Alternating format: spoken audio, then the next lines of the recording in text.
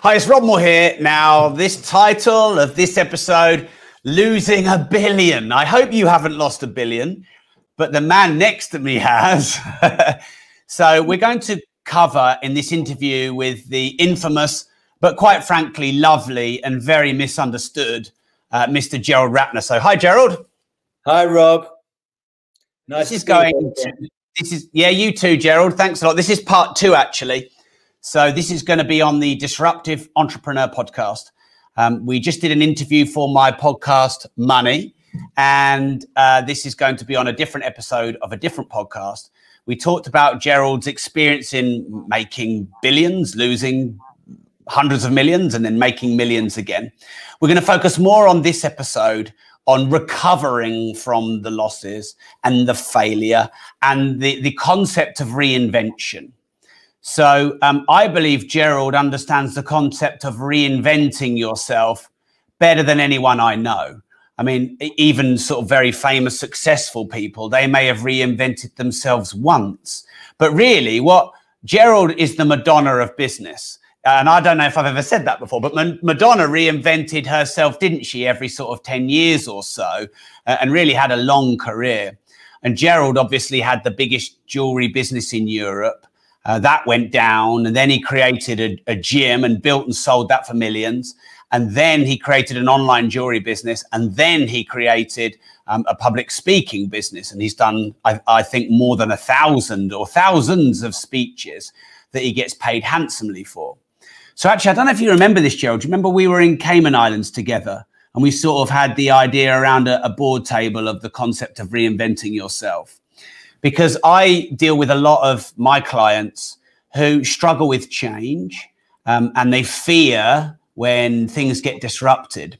So um, I believe there is no one alive today. And if you can find me them, find me them and I'll interview them. But I believe there's no one alive today that understands reinvention more than Gerald Ratner.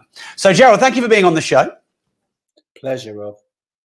So, um, in your book, The Rise and Fall and Rise Again of Gerald Ratner, which is in my top 10 favorite books I've read of all time, and I've read more than 3,000, you. you obviously tell us in detail your whole life story.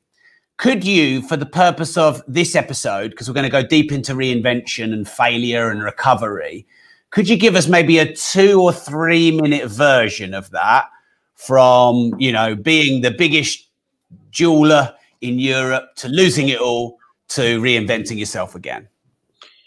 Right. Well, I've got to start with the speech. There's no point in uh, trying to pretend that that didn't happen. So that's the first thing that I always talk about. Uh, people tend to, when they interview me, try and wait a bit of time before they bring it. Up. But I know they're going to. They know it's going to come out. Um, it's like something standing in the shadow uh, always ready to appear. But you know, you live with it in the end because it's just like a bad back or a scar on your face. Um, you can't get rid of it. You think you can. You think that it'll disappear. It won't. So the answer is to live with it uh, and make the most of it. And I've tried to turn it to my advantage in a lot of ways by publicizing new businesses. Um, but yeah, I have to go back to that fateful day in April uh, 1991. I was asked to do a speech at the uh, Albert Hall in front of 6,000 people for the Institute of Directors annual conference. And I always turn up early for my speeches because I can't hate, hate, the idea of being stuck in traffic and leaving it to the last. Some people love doing it in the last minute. I, I'm always early for everything. So I'm two hours early. I turn up at the. You're always late, are you? so uh, yeah, well, you've probably got busier agenda than me. So anyway, I turn up at the Albert Hall. They say gate eleven. Uh, so I turn up at gate eleven, and there's a whole reception committee waiting for me there. And I thought, oh, this is a bit over the top, but there's like a top politician, even royalty, all standing in this line. And I'm very honored, you know. I'm like 41 years old and no, nobody, boy from Hendon. So I thought, what's this about? Anyway, it turns out that this reception committee wasn't for me. Uh, in fact, it was for President de Klerk, the president of South Africa, who was the main keynote speaker of the day, who appeared straight bef uh, just before me. Um, but nevertheless, that started off on a bit of a surreal note. Um, and I did the speech, and um, everything went well. I thought everybody laughed, and it was uh, a big occasion for me. And I was very relieved. But then somebody from the Daily Mirror, a journalist, came up on the way out, and he said, uh, "Mr. Ratner, don't you think you're making fun of your customers?" So I said, "Well, not really. I was just making a joke about myself, really." Uh, and that was it. So that put a bit of a dampener on it. And uh, here we are talking about this now, 30 years on. And um, it's on Twitter every day when somebody screws up. And now, who is it today that screwed up? I think it's BMW. That's right. But yesterday it was somebody else. Um, and they refer to me as the poster boy of failure. But I'd just like to add that the day before that speech, I'd announced profits of 125 million pounds. Uh, we had two and a half thousand shops, uh, the world's largest jewelry business. We were taking more money per square foot than any other retailer in Europe. I mean, that helped a bit because jewelry is small, so you can get a lot in a square foot. But nevertheless, uh, we were the darling of the stock market. Um, two years running, we were the highest performing share.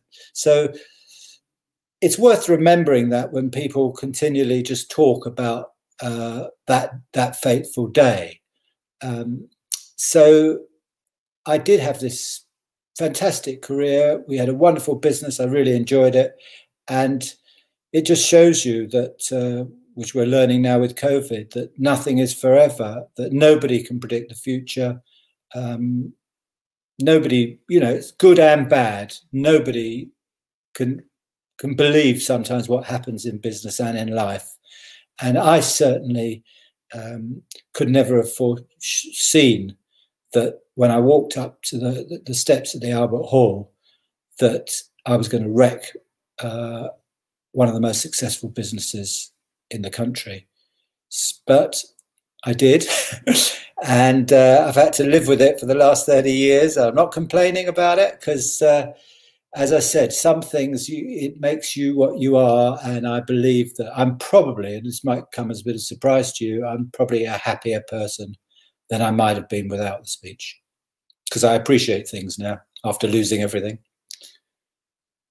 So you were doing, I think you said two billion turnover, 125 million profit. Your stock price was 430. Yeah. Yeah. Pounds a share, is that right? Yeah, the share price was four pound thirty. Yeah, per share. Uh, and then after your speech, it went down to two p a share. Uh, and yeah, and you'd put all of your profits and your own personal money into buying more shares. And um, what did the turnover go down to to its lowest point when you were still in the company? Well, the Ratners went down by 25%, which in the terms of COVID, uh, which people are reporting those sort of losses now for the first time since Ratner's, because it was un unprecedented to, to drop 25%. That might not seem as a ridiculous amount as you might think, but that completely wipes out, out your profit. Um, so we were going that year for a profit of 200 million, the, the brokers were forecasting. So we probably would have made it. Uh, but instead, we lost 100 million. So I missed that target by 300 million. Um, Samuels dropped about 15%. Ernest Jones less. The more upmarket you went, the less it went down 10%. Watches of Switzerland was not affected at all. Uh, but but um, the thing that with retail business, if you lose a chunk of your turnover, it completely wipes out your profit. And uh, that meant that we had to start closing shops, as people are doing today uh, laying off staff and uh, cancelling orders. So suppliers were being affected as well. So it had a knock on effect, uh, not only to me, um, but to, to a lot of other people. As you said once, I employed more people than the Royal Navy does. So it affected a lot. Of, and that doesn't include suppliers um, and shareholders and stuff like that. So it did it had a huge, huge effect. One one silly joke. Right. So, a couple of things. We're going to come to um, how much you owed the bank, and we're going to come to um, exactly how that affected your life and reinvention and dealing with massive failure and recovering and getting back on the horse and being successful again. Before that, anyone who's watching the live, if you want to us to answer, or Gerald really to answer any questions, please put them in the comments. And towards the end of this episode, we will um, ask Gerald those questions and answer them. Uh, and this is going to be on the Disruptive Entrepreneur podcast if you're watching but don't yet follow that podcast. So, Gerald, um, how much did you owe the bank? I can remember that number because it's quite an easy number to remember. Um, it was a billion pounds, which was um, quite a lot of money in those days. In in the, in the nineties, it was a billion.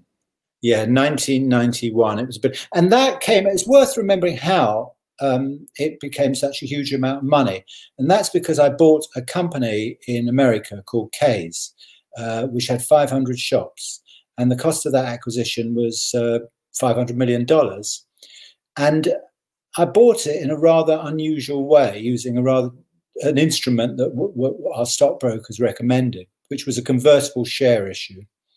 So the share price at the time was about £4.20. Uh, we issued the shares at above market price at £6.50 and they had a three year window for them to achieve that goal. Of course, being the 80s, I didn't ask what would happen if it didn't achieve that goal. You just assumed it did because they were going up at such a rate of knots. But of course, after the speech, they went to 2p uh, and it converted to debt. And it wasn't a debt of um, the $500 million um, it ended up me owning the bank, uh, the a billion pounds uh, because there was a huge draconian interest penalty coupon stuck at the end of it. If you didn't you took I didn't read the small print when I took it out took out the loan which I always recommend people do. Uh, but it ended up me owing the bank a billion pounds. Um, I got a phone call from Barclays Bank and I said is it about the billion? And they said yes. And uh, it turned out actually that they'd farmed that billion out into a consortium of um, 65 different banks. Uh, so um, I had to go around to every one of those banks to persuade them to keep me in business. So I've just Googled what is 1 billion um, in 99 worth in today's money. Uh, and apparently it's 2 billion at 2.28% inflation. Inflation is right. probably more so this could be three, four, five billion in, in today's money. Any worse than it is, Rob. Still a lot of money, even in today's money. Yeah. Okay, Gerald. So um, I believe you're the king of reinvention, uh, and you reinvented yourself from being the biggest jewelry business in Europe to launching a gym and selling it to launching an on- online jewelry business to launching a speaking career to you know being a, a, an author and creating diverse multiple income streams. So uh, what would you say are your top pointers for people in reinventing yourself? How can you reinvent yourself? Well the thing is that if you are reinventing yourself um, because of the fact you've your business went down or you lost your job you're you can't really afford um, to lose you know a lot of money again sort of thing. You can take a gamble in business if you're in a position like you are in or i was in uh, and i love to do that. And that's probably what made me successful the fact that i did have the balls uh, even though i had 50% of the jewelry market across the atlantic uh, to america where it was a graveyard for british retailers but still decided to go ahead with that and, and made a successor. We were one of the few people to succeed there. So I was willing to take huge risks. Um, but I think if you can avoid those risks um, when you're down on your uppers a little bit, because um, you really can't afford uh, to be kicked out of your house, which incidentally I was in the end. But um, so, so what I did, you know, with the health club um, was I sold membership before I actually uh, acquired the, the, building. A lot of people said to me, "Well, you should do demographics and you should do surveys on whether uh, it's worth opening a club in Henley." But I thought the best way is the acid test, the proof of the pudding, is to actually sell memberships to a non-existent business, and if it was um, if people bought the membership, then then obviously that's a quite a good uh, survey, and uh, that's what I did. So I sold membership before I even actually uh, acquired the building, and if I hadn't sold membership, I would have uh, walked away. So I put an advert in the paper offering membership, even though I didn't, didn't even bought it. So uh, there's a lot to be said for blagging your way as long as you don't do anything illegal in the early stages of creating a business. I know somebody went along um, to Tesco's years ago and said, you know, Marks and Spencer's got this fabulous um, range of puddings uh, and posh desserts, which you can never have because you're Tesco. Uh, but Marks and Spencer, you should compete with them, and I can give you this um, these puddings called Gu, which was G-U with an umlaut on the U, signifying it comes from the continent, which makes it sort of more upmarket. Fabulous packaging. Well, they didn't have any business. They didn't have anything. Uh, but they took a huge order just on the basis of a of a sheet of paper with a nice drawing on it. And then they went away and they opened up a factory in Crewe and started making cakes. Um, I don't know where they got the fact that it's from Belgium from, but that really didn't matter. That's all to do with brilliant marketing. Uh, so try and um, always say, you know, do try and sell the product before you buy it, and don't try and. There's an old saying that um, don't sell the bear skin before you shoot the bear, and I would go exactly the opposite of that. You know, I tend to think of the opposite of of uh, conventional wisdom in everything that I do. I mean, when I I don't wear glasses anymore, you might see, you might notice. Now, why do I not wear glasses? Uh, because I I forgot them one day, and I went out to the office and I was walking around. I thought, hello, not so bad. Okay, I can't see as perfectly as normal, but um, I can manage without glasses. They're a pain in the neck. So since then, that was about seven years ago, I don't wear glasses anymore. Why do people wear glasses? Because bloody opticians, well, I shouldn't say bloody opticians, because I do a lot of work for Specsavers, but the opticians tend to say to you, uh, you got you need glasses. So you take your their word for it and you go away and you you wear glasses. But I'm sure that I'm not saying this about everybody. There's a lot of people really need glasses and I don't want them all driving around having crashes. But I'm sure there must be 10% of people out there wearing glasses that they don't need them. And I was one of those. So I challenge everything uh, I don't accept uh, what people tell me. I used to do when I was younger, and I've learned that that's a big mistake. Right. So my next question, Gerald, is going to be about learning from failure. But I just realised I am the same age as you were when you made your speech. Oh, well, be careful. You're at a vulnerable age. For yeah, I need to stay at home until I'm 42, which is in right. about five weeks. I always think, Gerald, you know, because um, I think in some ways we're quite similar in that I'm sort of quite contrarian and quite disruptive. And I know I've said some things that are far closer to the line than what you did on your speech. I've always vehemently defended you because I feel like people took out of context what you said. Whenever people recall what you said, they always get it wrong um, because you didn't say what the media said you said. And I also realized, well, I could easily have said things a lot worse than that. So, um, you know, it always keeps me humble to the fact that this is what I love about your story, Gerald, is you're like a little warning to us all of what can happen and a, and a lesson in, I guess, humility uh, and how everything can change very, very quickly. Now, look, your full story is in the rise and fall and rise again of Gerald Ratner. So, for those of you who don't know much about Gerald or his full story, because we don't want to repeat what he's already written about think you re- I read that in 2006 in my top 10 books I've read of all time. I love it. So grab that if you want to know Gerald's full in and out story, the rise and fall and rise again. Um, so, Gerald, how do you recover from failure? How did you recover from massive failure? Give us some tips. Well, the thing is that um, if you're, I, I, I believed everything that was said about me in the press, and I didn't want to play anymore. I was told that I was unemployable, and I was sort of self isolating before it was a thing. And uh, for about seven years, I was sort of uh, doing nothing. And uh, sometimes, you know, if you're in a situation, uh, if you're, I'll give you an example. If you're in a room with a smell, uh, you don't actually smell the odor that's there unless you go out to the fresh air. You keep kidding yourself that everything's fine and everything will be all right and life's not so bad. Okay, you're never going to be successful and have loads of money, but you know, things are all right. I'm feeding my family and all that sort of stuff. So you keep kidding yourself that everything's fine when it's clearly not. And I was doing that. I was living in denial of the mess that I was in. Uh, but the credit cards were mounting up. and uh, I was basically very unhappy, even though I was pretending I wasn't. But in my case, I was very lucky that my wife threatened to throw me out of my house, uh, which might you might not think is very lucky, but um, she did me a favor because you sometimes need somebody to give you a kick up the ass uh, and to say that you can't go on like this in no uncertain terms. So uh, I think I'd probably still be lying in bed watching Countdown if it wasn't for her. Uh, although probably it wouldn't because I wouldn't own the house anymore.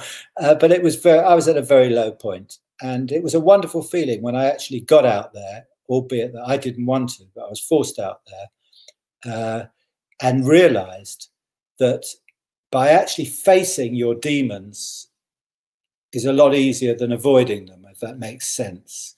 Um, by just not looking at your bank statement, have a bad your bank statement. It's just better to look at it and to deal with it. And a lot of people are not looking at their bank statements at the moment. They're just pretending.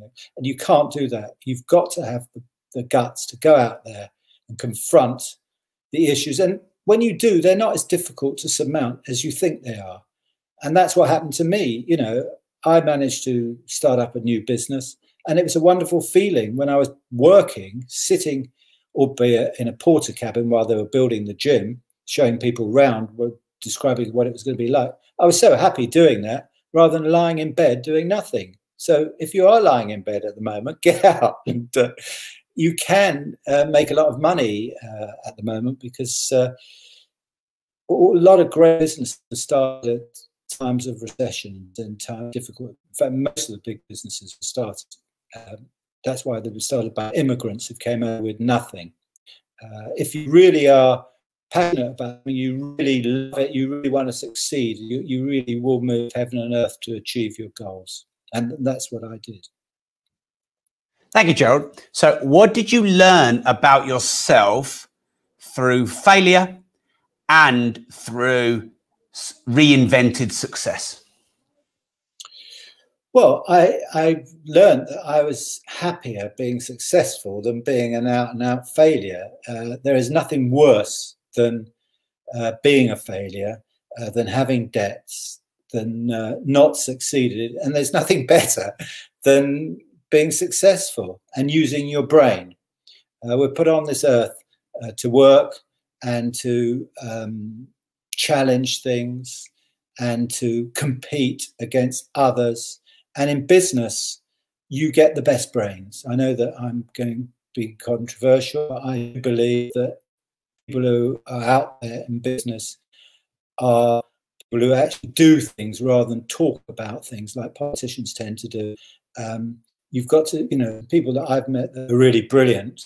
Um, they don't spend all their time sort of trying to convince people or talk to people or something. They just get on with it and they do it. And they're the best brains. And pitting yourself out against those other people and succeeding and really pushing your brain to the limit, which you can only, in my view, can only do in business. Um, and I know I'm going to be criticized for saying that, but um, I think that is the cream of society.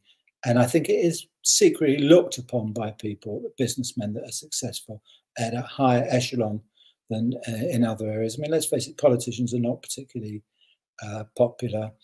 Um, but I mean, uh, so so business is, and this is proving it in the in the COVID that the and that the economy makes the world go round. Money makes the world go round. Unfortunately or fortunately, any way you look at it, uh, it's vital that we work, that we succeed, that entrepreneurs are encouraged uh, and uh, that's what's going to make for uh, you know a recovery, a good recovery, and, and a successful a successful life for everybody is the people that create businesses. So I couldn't hold businessmen in higher esteem than I do, and that's why I hold you in such high esteem, Rob, because you are one of the most successful businessmen that I know at the moment, um, which is fantastic, and you're doing it at the age that I was, very young. Gerald, that's very kind of you. Um, so, can anyone reinvent themselves? You know, even if their age doesn't seem to help, or their circumstances or history are really hard or bad. Yeah, I think they can. I think that um, people they always used to say that uh, if you're a great violinist, you're a terrible lover. Um, you can't be, you, you are often fantastically, by the way, I can't play the violin at all. But the, the thing is, if you're really good at something, um, you could be really bad at something else. That's often the case. Uh, maybe somebody who's dyslexic uh, achieves a hell of a lot because of the fact they're dyslexic. Um, so people, are, it's difficult. I've met lots of people that have that look the part uh, as successful people, and they're not. And then others that just think, uh, you know, they're a complete disaster uh, and been very, very successful. I had a buyer, and the buyer is the most important thing in the retail business. It's not rocket science to tell you that the product that you're selling is everything. And, uh, you know, if you get that right, people will queue up and knock down your door to buy it. And I had a buyer who was an absolute disaster of a person. Uh, he looked terrible, um, and he always had a cigarette in his mouth. In those days, you were allowed to smoke anywhere. And he used to, I remember he used to walk around with a cup of tea in this plastic cup. And the ash used to drop in the tea, and he carried on drinking it. His personality was absolutely diabolical. Everybody, boy, was he the most fantastic buyer that ever lived and he was worth his weight in gold because he knew what the public wanted. I don't know how he did, but he did. So don't judge a book by its cover, especially not our book, because uh, I know we've had a bit of problem with the cover of that. yeah. So on that note, um, our book is called Reinvent Yourself. We've done 72 versions of the cover. We've been asking lots of opinions on social media. Um, and honestly, most people didn't like it in the early days. Actually, more and more people are liking it now, Gerald, with our later iterations. Um, it comes out December. Somebody said about having my picture on it, it devalues the book. No, well, I, I, I thought the first version was fine, Gerald, with your picture on it. I know you were happy when we took it off. Um, but yeah, we're um, we've got a really good cover now, which most people like. The book is coming out on December the third.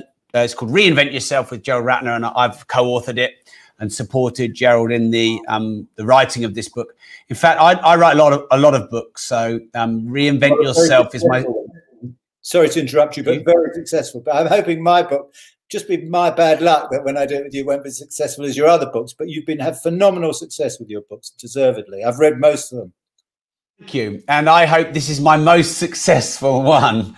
Um, but yeah, this is my 17th opportunity, is my 18th. I'm writing three more at the moment, but this is my first book launch in quite a long time for me. So I'm expecting it to do really well. But really, it's about the value in the book. I can't think of anyone else alive who is more experienced in reinvention than Gerald, having reinvented his career at least four times. So he's very well qualified. And I think I really believe we need to not wait to be reinvented or worse, disrupted like a dinosaur or like Kodak or Xerox or Blockbuster. You know, you can be very successful, but if you don't react with the times, um, Nokia, you know, there's so many examples. And, and unfortunately, you're in a similar category, Gerald, where you were huge and then overnight you can lose everything. This is this can happen to anyone. And this is why Gerald and I are trying to put this message out at this time in light of you know the situation with covid and the fear and the lockdowns and the uncertainty of the leadership from government uh, and both gerald and i believe that you need to reinvent yourself not wait to be re- re- reinvented. You need to disrupt yourself not wait to be disrupted otherwise you'll end up losing everything. So gerald how often should we reinvent ourselves? Is this a yearly thing a decadely thing? Do you have any rules for that or is it just um, before someone ruins you? Yeah. Well, I'm old, as I said, you know, I'm older than you by quite a lot, and I remember in the olden days that not only did you have a job for life, but you then followed your father and your grandfather into that sort of thing. Was there was no risk, um, and we were talking about doing this book well before COVID. We started writing it well before COVID because we could see that uh, that situation had dramatically changed, and uh, job was you're lucky if it was a job for 10 months. I think that was the average amount of time that young people were staying in a job.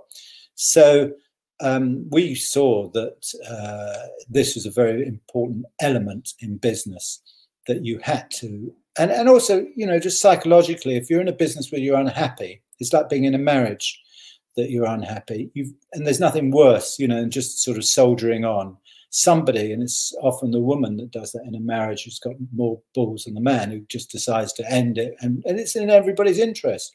Um, so, you know, I do think it makes a lot of sense uh, to reinvent yourself. Uh, but a lot of people, sadly, during COVID, you know, have lost everything like I did. Um, and put, and I hope that they don't wait seven years like I did to get back on their feet. Um, and it, it, you can reinvent yourself. You can try your luck again. You know, after I left uh, Ratner's, yes, I did have a successful health club, but people, but I haven't mentioned this to you, but I had two or three things between that which were an absolute disaster. Uh, I, I started a factory outlet business, which was a brilliant idea, and Bicester have done phenomenally well with it. And I was before Bicester with it. I could see selling designer brands at knockdown prices, top designer brands, uh, end of line because they had a problem getting rid of their their product, and people would certainly buy designer.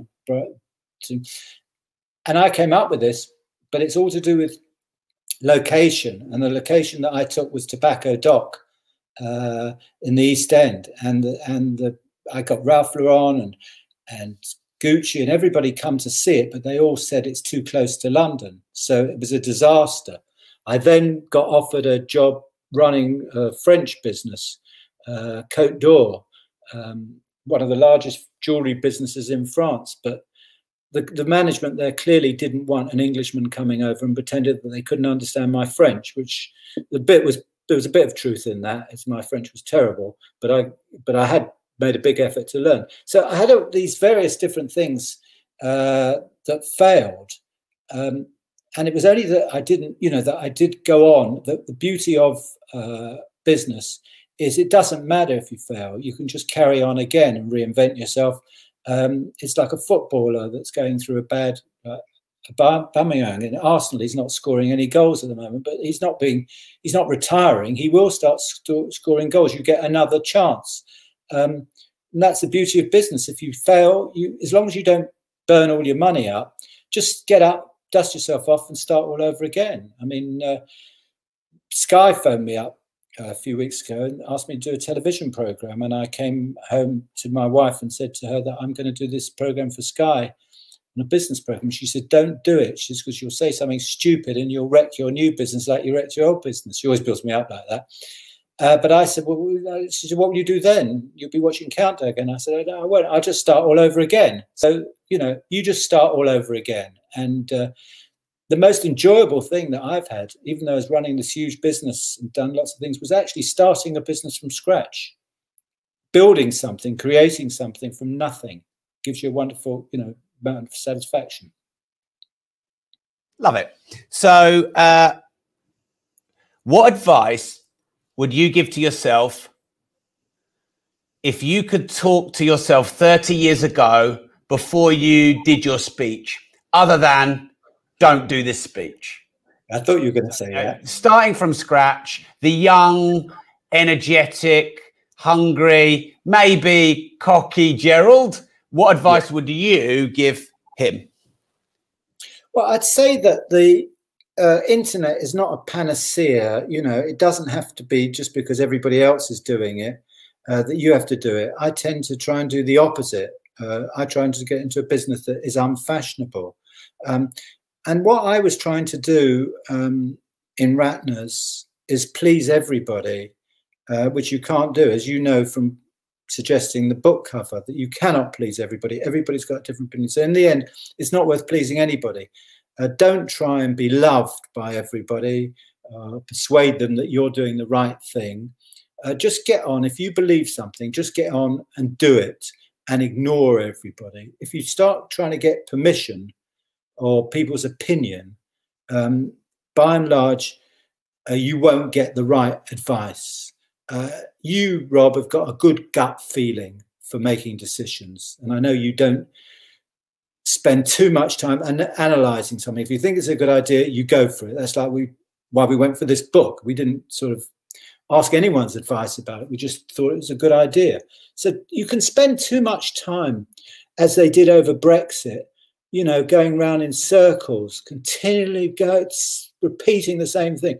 They need somebody sometimes, like a Margaret Thatcher, to just get ignore everybody, go out and do it. You know, forgiveness is easier to obtain than permission, and I never got permission for anything um, because if you ask somebody uh, for their advice, sometimes they'll give you advice not to help you, but to help them, something that suits them, because um, they, they, they want an outcome where they'll benefit, not where you'll benefit. So, you know, I know it sounds arrogant that you know best and all that sort of stuff, but there is a danger of analyzing something too long and getting and doing it. If you've got a gut feeling for something, if you really feel that something's a good idea, don't let anybody put you off. Just get on with it.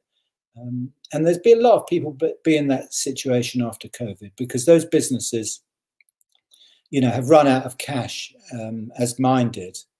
And, uh, you know, cash is everything in a business.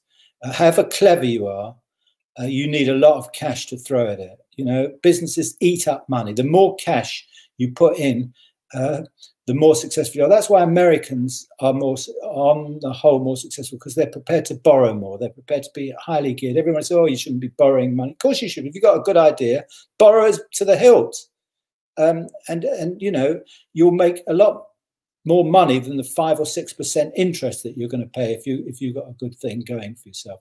So um, just have confidence in, in what you're doing and don't let anybody put you off because there will be people trying to put you off after COVID.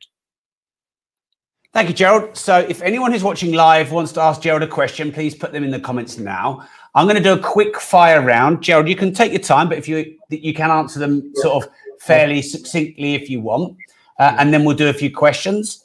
So, right. What's the best advice you can ever remember receiving, Gerald? I think that somebody once said that business is like a, a work of art, that yes, you have to have a vision for something, like a great artist like Canaletto when he painted the Grand Canal. Yes, he wanted the Grand Canal exactly as it is, but he put in tremendous detail into that painting the buildings, the oarsmen, the gondoliers, the water, every single thing. If you look at those paintings of the great Venice things, or, Rembrandt, they have incredible detail. Um, so business is not a question of just having a vision. Uh, it is the boring part of getting actually everything right. And I've seen my competitors, uh, especially in the jewelry business, get things wrong. We always used to display our diamond rings at 42 inches from the ground because the average woman was five foot four and the trajectory of her eyes would fall at 42 inches, optimum height. It's little things like that that are important in business. And um, conversely, what's the worst advice you can ever remember receiving? Oh, um,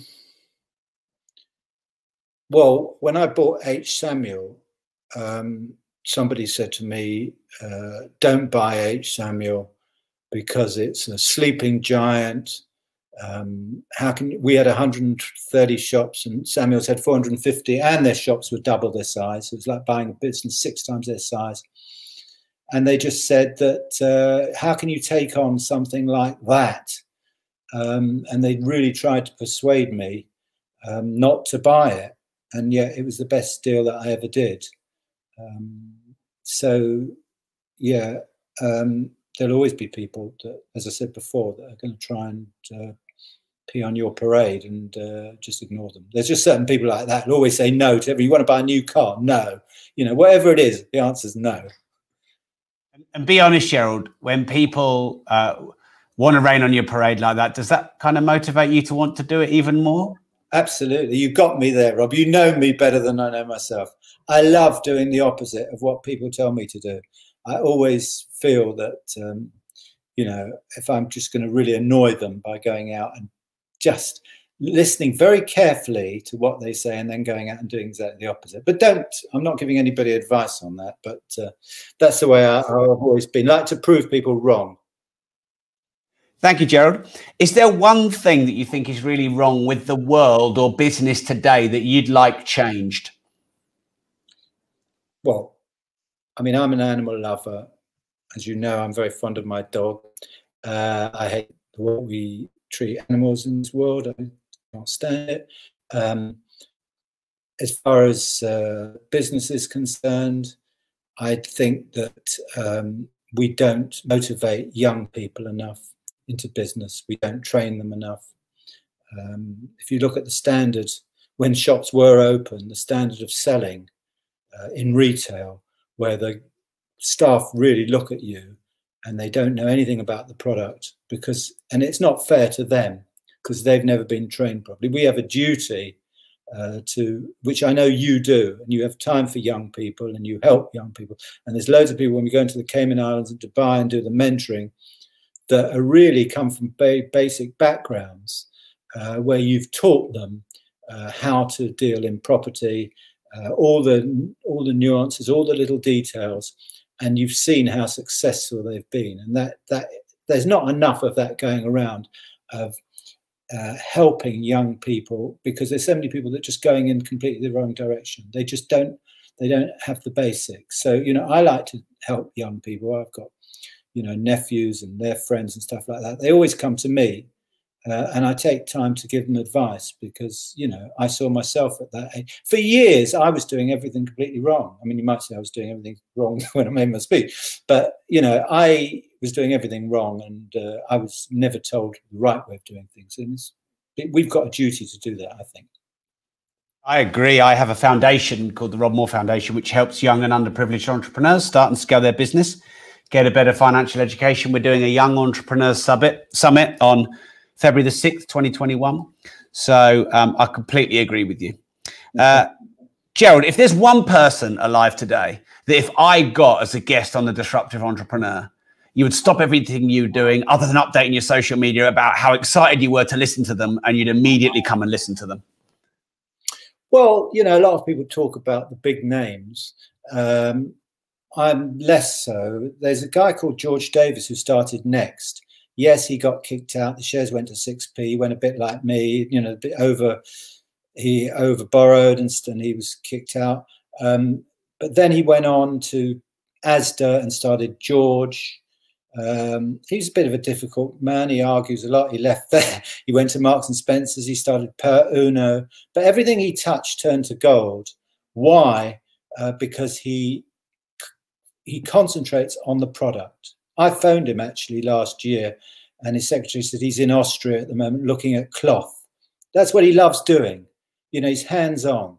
You, you know, when you used to come, if you come to our office, you'll see all jewelry at uh, Gerald Online. Um, we don't look at balance sheets so much. It's it's the product that is everything.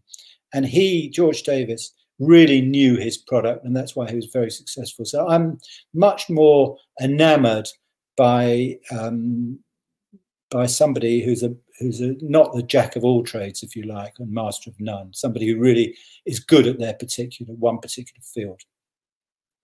Well, we might reach out to him. So thank yeah. you, Joe.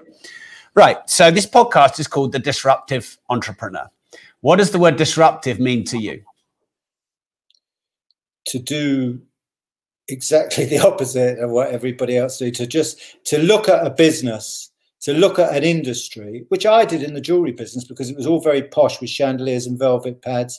And I started playing pop music and uh, put posters up and sandwich boards and didn't wear staff didn't wear suits and stuff.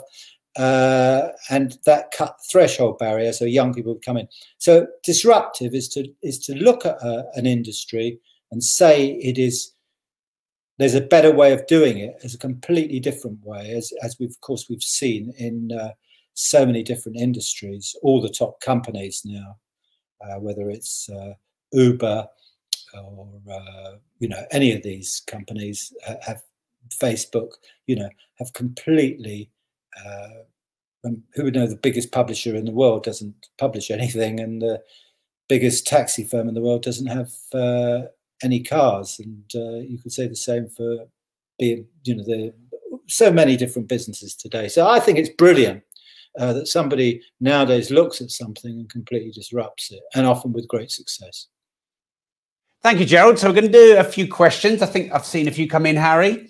Um, uh, and remember, reinvent yourself. The new book, much needed by the world right now, by Gerald Ratner, will be out December third, and I'm very fortunate to have co-written it with Gerald. Though Um, Gerald's definitely written more of it than me, which is why my face isn't on the cover, which people have said. so let's have some questions, Harry. So this is from Kate Ashley Norman. I'm just reading Gerald's book now, which is called The Rise and Fall and Rise Again. So interesting how retail has changed between the 80s and now. Uh, and now, that original business model has been completely overhauled. Any comments on that, Gerald? Well, I don't necessarily agree with that. I think that the fact that we uh, sold products that were much lower price than anybody else is proof that that is where to go in the UK. If you look at the successful retailers, uh, they are the low priced retailers uh, that offer value for money, which is Primark. Uh, and whatever you say about Sports Direct, that as well, uh, they're the people that uh, are doing well, and that's all we were about. But we ran a very efficient business in terms of replacing stock, uh, which Jewelers never did within 24 hours after it's sold, because we worked out that 80% of all sales come from 20% of your lines. So um, um, that that's very important to keep the best. I know it sounds pretty obvious to keep the best lines always in stock. And by the way, that sort of all that gold jewelry that we used to sell, those necklaces and bracelets, it's all come back in fashion now. In fact, the Times said that if I hadn't screwed up, I'd be doing very well. Thank you, Gerald. Um, next one, Harry. Okay. Um, Hina said, couldn't your 1 billion of debt have been written off? Well, it, the only way that it would have been uh, written off was uh, you keep reminding me about this one billion. I have nightmares about it. Uh, the only way it could have been written off is the business went would go bust, and the reason that the business didn't go bust, it was too big. It should have got bust actually because it, it didn't. It, it had this billion pound debt which we couldn't pay back. But it has been paid back now, uh, not by me. when I left, uh, I left the debt with the company uh, as a going home present. So uh, it was paid back.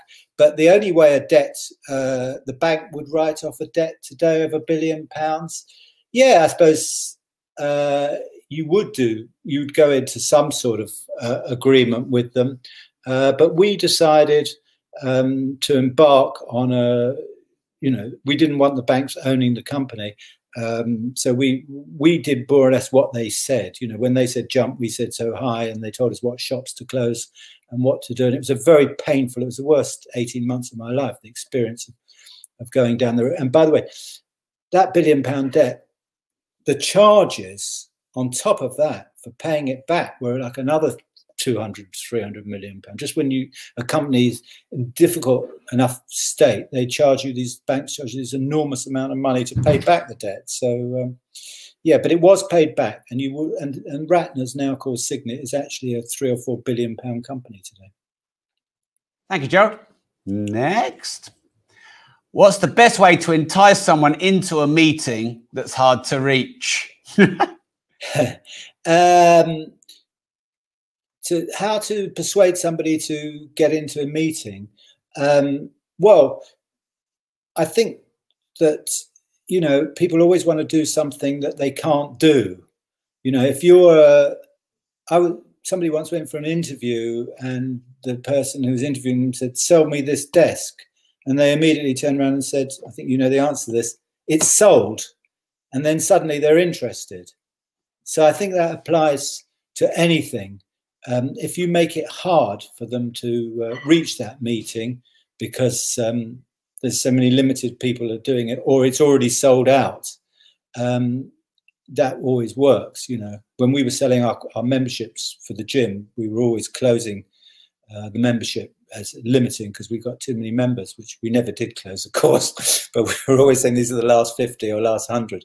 Uh, people just genuinely uh, rush. They, they, need a push. That's why Amazon are very clever uh, if you look at a lot of products, say, you know, just seven left in stock, I'll carry out five left in stock, you know, it's always this fear, which is totally ridiculous when you think about it, that you are going to miss out because you don't, you're not going to miss out on Amazon. Thank you, Gerald. Any more, Harry? Um, Gerald, who inspires you? This is from Rob Fenlon. I think that uh, Rob inspires me because of the fact that he has confidence in me uh, when a lot of people didn't have confidence in me. Um, and uh, you know, he's asked me to do these um, mentoring to people, which people would say. A lot of people would say, "Well, Gerald Ratner, you know, we don't want him. He's screwed up. He's the biggest idiot that ever lived. He's a poster boy for failure." Uh, but somebody like Rob did see beyond that. Uh, it didn't just go by conventional wisdom, and actually did what I do, did the opposite of what most people do, had confidence. And he's written a book with me. So I've got to say that it's Rob uh, that has inspired me. And I'm not just saying that because he's he's there, but uh, he does. And I also like another thing, the fact that he is in the business of events, or one of his business. I know there's a lot of strings to his bows, but one of those events, which is you think, I mean, if you look behind him, there's a picture of thousands of people sitting there, and I've been there. Uh, so you'd think that he'd be complaining and being hit, but you speak to any of his stuff, and they're absolutely positive. The morale in that business uh, that they have achieved is phenomenal, especially you know at times like this. Morale is probably the most important thing in business, and and that's what Rob inspires with his staff and also with all the people that um, follow him everywhere. I don't know how he does it, but he does. He well, I can see how he does it. He inspires people, and that is that is a great asset. That's very lovely of you to say, Gerald. Thank you. I just want to share back that the reason that I love working with you and you also inspire me is because one, I thought that what the press did to you was um, wrong. Um, and I think that you were taken out of context.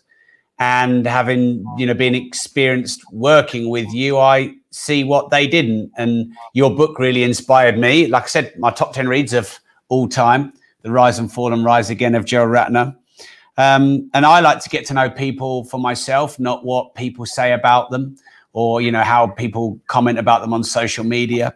So uh, it's a pleasure to work with you the next year in our mentoring programs. Hopefully, we can give you lots of speaking gigs and sell you loads of books. If there's anyone on this planet I want to help make loads of money, it's you, Gerald, because I just think that your story is so inspiring because you know, a lot of people are, oh, you know, I lost a few quid, or oh, business isn't going very well. And they, they, they do sort of play their own violin a bit. Yeah. You you lost two fucking billion. You know, you didn't just lose a few quid, yeah. and you lost everything, and yet you still rebuilt it all. And you what you know you're you're into your seventh decade of life, still with the same energy and passion, still riding on your cycle twenty five miles a day, still writing books, still starting businesses. I hope I'm still doing that when I'm your age, Gerald. So um, thank you. Are there any more, Harry? Final question. Final question. So this from Chris Hazelhurst. With a move to more internet-based selling, how long before the high street will be gone for good? And is that the best for retail customers? Good final question from Chris. Do you know something? It's going to surprise you, this answer but I actually was saying if you read if you read in the Mail on Sunday this year, I did an article saying that the high street is dead, and that uh, turn it into homes. And it, it's no point, as I said earlier, if you're in a bad marriage, you you don't carry on with it, or if you're in a bad job, you don't you leave. And to be honest with you, I cannot see any future. Uh, I think online is going to it's gone up and up and up. Even before COVID, I said this, but certainly now people have got more used. There's a lot of people who would never buy anything on the internet, older generation or whatever. They're now loving it. There and it's a lot better. And I was saying that sometimes you go into shops and the staff don't know the product. If you want to buy a product online, you can find out everything about it. You can get all the reviews, you can get all the details. Go and it's very important when you're describing when you're buying a product. If you're buying a Casio watch or something, that you know exactly how deep under the water, it's waterproof for you. won't get that answer in the shop. Uh, and these are very important things. And I cannot see uh, how, certainly not the high street. I mean, when I started, it was just the high street. Then the shopping malls opened, and then the out of town, then the internet. I mean, it can't all be sustained. I think the high street is the weakest, it will go first. Um, but I do think that um, there'll be a tremendous cull um, in shops, and it won't be long before you know nearly everything we bought on the internet. I just can't, and it's, it's a cheaper way of getting the product to the to the customer. So, sadly, I, I, my view is that um, the high street will be gone for good. All right, Gerald. So, um, where can we follow you on social media? I think you're on LinkedIn and Twitter. Do you have your um, the, the links or the handles that we can follow you on? Yeah, if you go to Amazon to see the new book, although you can't order it yet, you can't pre-order it, but you can buy it, uh, which is not long now. It's next week, isn't it? It's exciting. Um, you could see the author's details. Just click on me, and it's got all the details of my Facebook, how to get Facebook, um, um, Instagram, and LinkedIn, especially.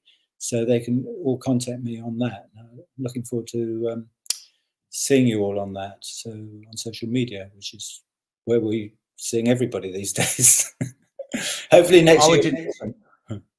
Gerald is very active on social media. He does reply to people. He's not one of these people that post stuff and never in the comments. So that's that's something I like about Gerald.